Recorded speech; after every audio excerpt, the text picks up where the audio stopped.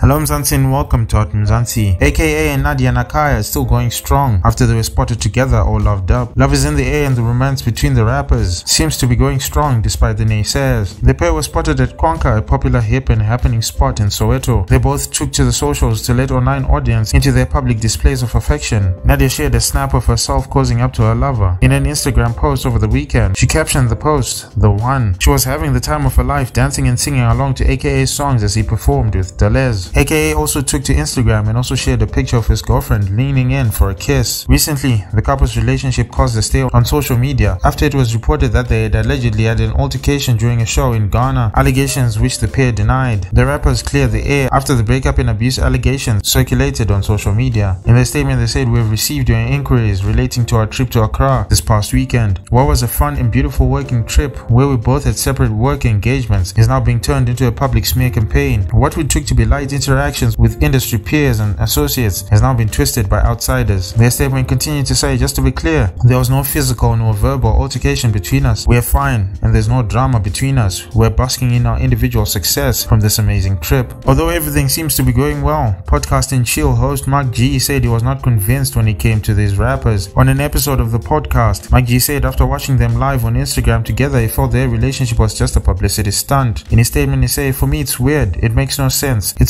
strikes me as one of those arranged publicity stunts because when I watch them, there's no chemistry.